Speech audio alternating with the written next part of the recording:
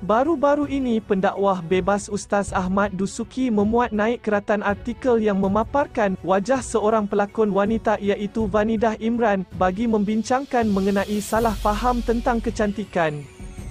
Katanya, kecantikan itu tidak boleh diukur dengan hanya pandangan mata kasar, sebaliknya diukur dengan ketaatan seseorang.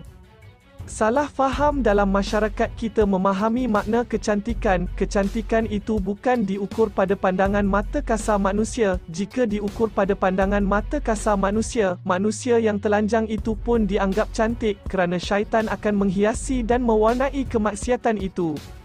Sebaliknya kecantikan diukur sejauh mana ketaatan itu, ketika mana seseorang taat semakin terselah kecantikan kepada seseorang itu, walau setua mana pun usianya, tegurnya. Namun begitu, pelakon dan penyanyi Lufia Omar tampil bersuara dengan menegur pendakwah tersebut.